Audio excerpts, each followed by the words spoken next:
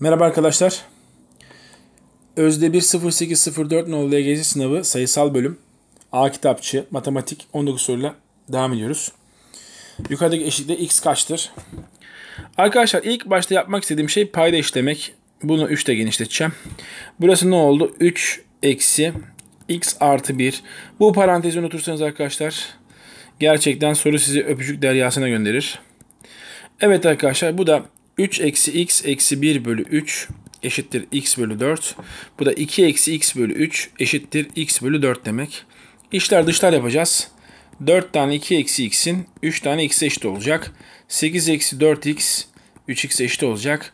Bu 4x'i buraya artı diye göndereceğiz. 8 eşittir 7x olacak. 7'yi de bölüme göndereceğiz. 8 bölü 7 olacak.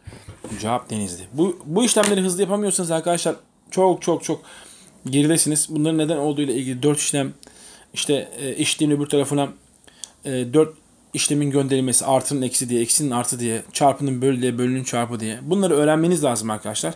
Bilmiyorsanız bunlara ağırlık verin. Anlamadığınız bir şey varsa lütfen yoruma yazın. Lütfen abone olun. Beğenin ve paylaşın. Çok sağ olun.